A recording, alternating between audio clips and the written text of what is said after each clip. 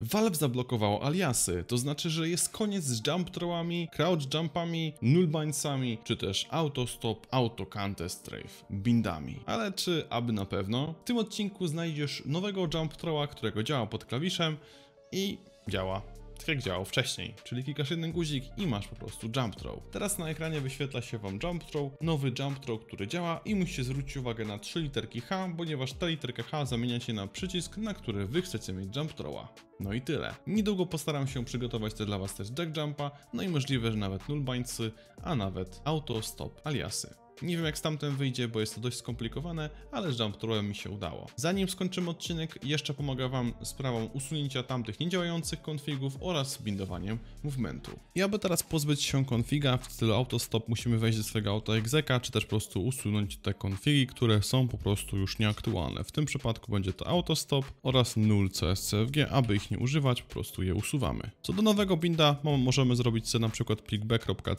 z jump i wejść potem do swojego konfiga i po starym jump throw, który już nie działa, po prostu zrobić tutaj exec b, ponieważ stary jump throw nie działa. Po usunięciu nullbindsów należy odpalić grę, wejść do ustawień w zakładkę klawiatura i mysz i tu mamy ruch do przodu, do tyłu, lewo i prawo i tu musimy te budki uzupełnić, aby zwykły movement powrócił. Teraz wejdźmy sobie na trening na Mirage i pokażę Wam, że jump throw działa.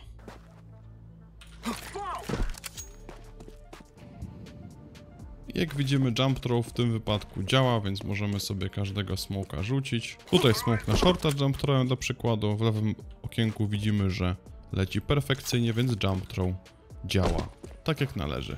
No i oczywiście również takie bindy jak duck jump już również nie działają, więc warto sobie je odbindować po to, aby nie mieszały one waszego movementu, bądź też przebindować sobie na przykład na zwykły plus jump, żeby chociaż jakkolwiek to działało.